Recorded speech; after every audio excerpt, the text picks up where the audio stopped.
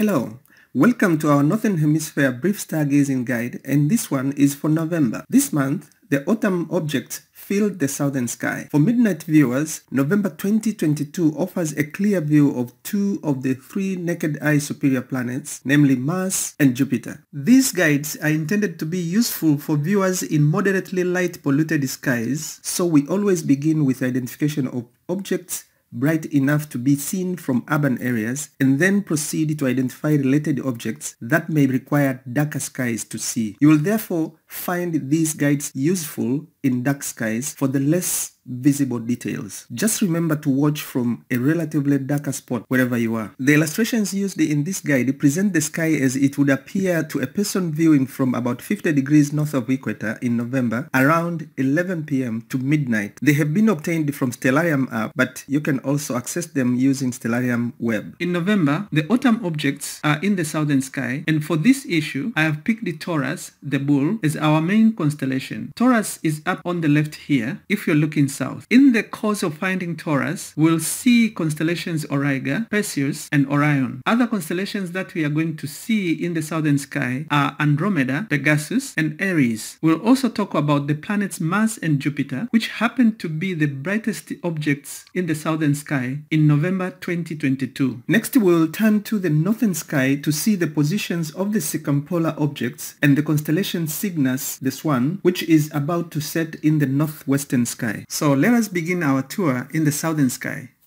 Facing south and raising your eyes to overhead, you will see a very bright whitish star to the left. That star is Capella, the little god. It is the sixth brightest star in the night sky and is in the constellation Auriga. From the position of Capella, look in the forward direction to find another bright reddish star. If you got it right, that star is Aldebaran, the eye of the bull and the brightest star in the constellation Taurus. For November 2022, I need to add this explanation before we continue to complete the shape of the constellation Taurus. The planet Mars will be in the same region in November 2022 and will be the brightest reddish looking object of the three somewhere in the middle here. Our interest for the moment is on the stars Capella and Aldebaran because their relative positions are fixed and they will be here every November. The position of Mars on the other hand is constantly changing relative to the rest so we are not going to find it here next November. Aldebaran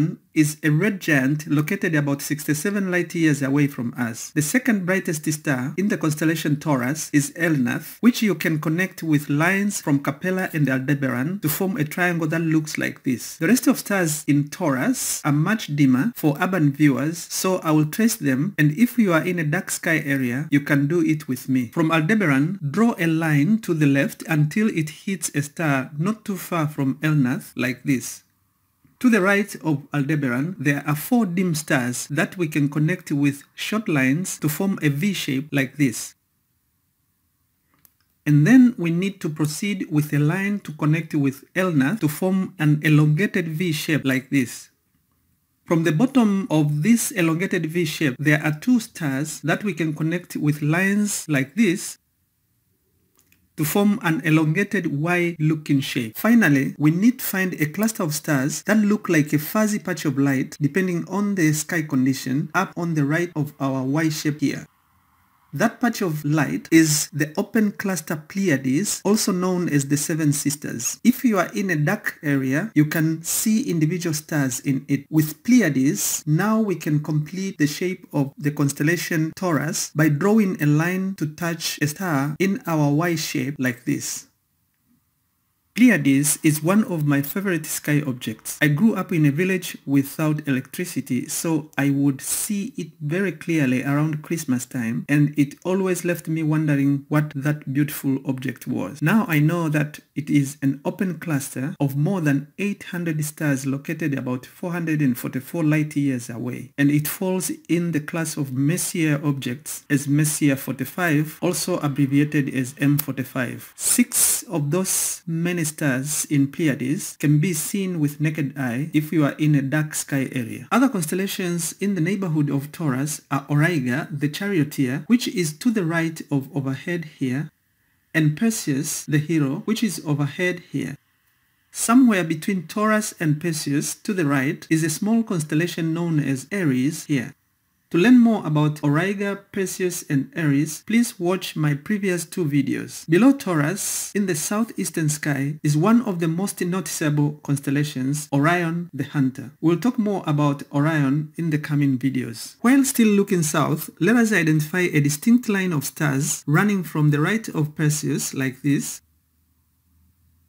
to help us find the constellations Andromeda, the Princess, and Pegasus, the winged horse. The first three stars are part of the constellation Andromeda, which looks like this, with Andromeda Galaxy on top here.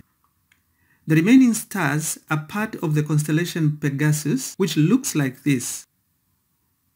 From our viewing point, the winged horse is upside down. In November 2022, we have below this square shape in the constellation Pegasus, which is also referred to as the Great Square of Pegasus asterism, the planet Jupiter. Jupiter outshines all other objects in the midnight sky except the moon and meteors. As a planet, Jupiter's position relative to other objects is constantly changing, but at a much slower pace compared with that of Mars, because it is further away. What is more interesting in November November 2022 is that while the general movement of planets relative to the background stars is eastward, the planet Mars will be in retrograde motion, thus it will appear to be moving westward for a couple of months. To see this movement, you need to watch it and compare its position relative to other objects night after night. It always blows my mind when I think about how far the objects we see in the night sky are. Let me use some objects we have seen here to illustrate. According to Stellarium, the planet Mars is about 0.57 astronomical units from Earth by mid-November 2022, and Jupiter is about 4.3 astronomical units away. Now you need 63,241 astronomical units to get one light year. And then you need 67 light years to get to where the star Aldebaran is. Yet that is not much compared to where the star cluster Pleiades is. 444 light years away. And how about Andromeda Galaxy? 2.5 million light years away, and yet of all the billions of galaxies, it is our closest neighbor. In the previous video, I mentioned that Aries is the first zodiac constellation. The zodiac constellations are those appearing to be in the path of the sun in the sky, which also happens to be the path of the moon and the planets, known as the ecliptic. Since we have two planets in this view,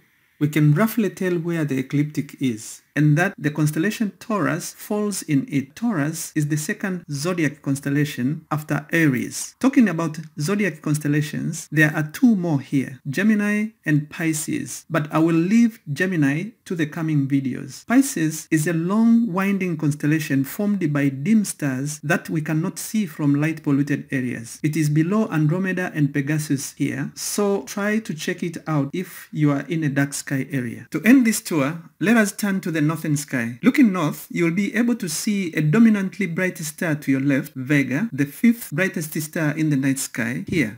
Somewhere above Vega, you should see the second brightest star here, which is Deneb. From Deneb, you can trace the shape of constellation Cygnus, the swan, like this. For more about Cygnus, please watch my previous videos. To your right, you'll be able to identify the distinct shape of the Big Dipper asterism here. Once we have the Big Dipper, we can find the star Polaris by extending a line from its top end like this. Polaris is part of the Ursa Minor constellation, which at this place and time runs in the downward direction like this. From Polaris, another line to the up leftward direction will take you to the constellation Cassiopeia, the Queen. Between Big Dipper and Ursa Minor is the constellation Draco, the Dragon, which looks like this. These are circumpolar objects, meaning that they are always visible rotating counterclockwise around Polaris. And that brings us to the end of our November night sky tour in the Northern Hemisphere. I hope you have found it helpful. If so, please like. I'd also appreciate your comments. Thank you for watching.